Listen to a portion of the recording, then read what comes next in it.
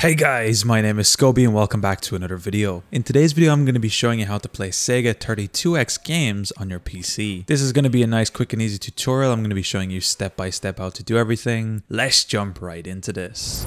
So the first thing you need to do is come to this link. Links is always in the description down below. And this is going to be for the free emulator we're going to be using in today's video called RetroArch. It's 100% free and it's a really great multi-emulator. What we're going to be doing is coming to this website. We're going to be clicking on the download option right here. We're going to be scrolling down and then you're going to download whatever version best suits you. In my case, it's Windows 10. I'm going to be grabbing the 64-bit launcher. Now, if you don't want an installer and you would prefer just a launcher, you can also just click the download version right here. And that's the version I'm going to be using in today's video. It just gives you an exe inside the file that we can just run without actually having to fully install the application. Once this is done, we're going to be finding where your file is downloaded. And I have mine right here. It's RetroArch. And it is going to come in a .7-zip file if you downloaded the same download version as me. However, if you downloaded the exe version, you can install it and start right away. For the rest of us, what we're going to have to do is find your 7-zip file. You're going to have to have WinRAR or 7-zip installed. I'll be leaving links to both of these in the description down below as well. And we're simply going to be extracting the contents. To do this, we can simply right click, hover over 7-zip, and we can just click extract files. In this case, I already done this previously and I have my RetroArch right here. Double click into this folder and we're going to be scrolling down until we find a RetroArch.exe file. Open this up and then your RetroArch will open up. In this case, we get a very PlayStation 3 style UI, which is just for our HUD. And here we can see all of our options and settings. Now in my case, I connected up an Xbox One controller, which is automatically picked up and will automatically work inside the UI and for your games. I believe this will also work with a PS4 controller and Xbox 360. So the first thing going to be doing is looking for the load core option, which I have right here. We're going to be opening this up and we're going to be coming down to and looking for the download a core option. We're going to be clicking this open and then we're going to be looking for the Sega and we're going to be looking for Sega-MS slash MD slash CD slash 32X Pico drive. And this is going to be a multi-emulator core that's going to allow us to play a couple different Sega consoles. However, in this case, we're mostly interested in the 32X. To install this, simply click enter or A or X on your controller and your core will download. Some text will appear at the bottom. And once that's disappeared, your core will be installed. From this point, we can click back out of here. We can click load core and we'll see the core that we just downloaded will show up here. Click A again and it will be loaded. And you can see on the bottom left, it's actually loaded here. You can see Pico Drive. And that's how you know this is done correctly. From this point to actually set up or change any of your settings, we can simply go one tab to the right and we have our settings right here. We can change all of our different settings. We have input here and we can scroll down and we can see all the different user input binds for one, two, three, four, and five. If I come into user one right here, we can see it's linked up as a retro pad and you can see it's an Xbox One controller and everything is mapped here by default. However, you can come in here, click and change any buttons if you would like, or if you have a controller that's not connected by default, you can come in and change everything manually here. So from this point, we're ready to actually talk about games. So we're going to be coming back to our folder right here. And in this case, I already have a games folder here with my Sega 32X and I have Star Wars Arcade here for my Sega 32X and by default your games will most likely come in a .zip file. Now for this emulator it's okay to run your games from a .zip however I always extract my games out and what we're looking for is .32x files as you can see I have them here. To extract your game from a zip you can really easily do this in Windows. Simply right click and click extract all and then your game will come out. Now if your game comes in a .7 zip or .rar formats so you may need WinRAR or 7 zip to extract it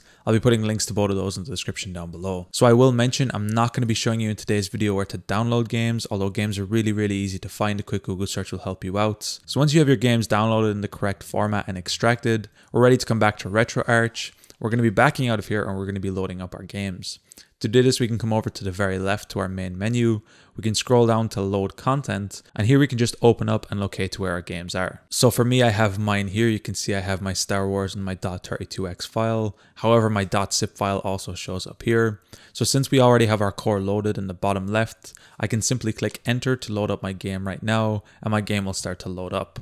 Now, of course, I can change the size of this window at any time by simply dragging. It may freeze your game for a couple seconds depending on what you're doing.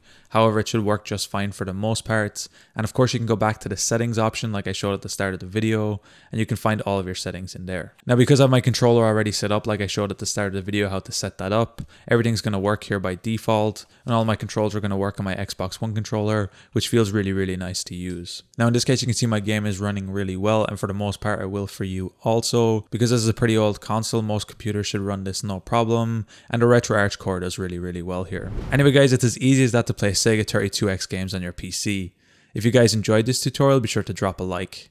Subscribe if you're new, check out the other videos on the channel. I'm going to be leaving a link down below to my PayPal if you find these videos helpful and you want to support me. Anyway, guys, thank you so much for watching. Until next time, as always, keep it saucy. Peace.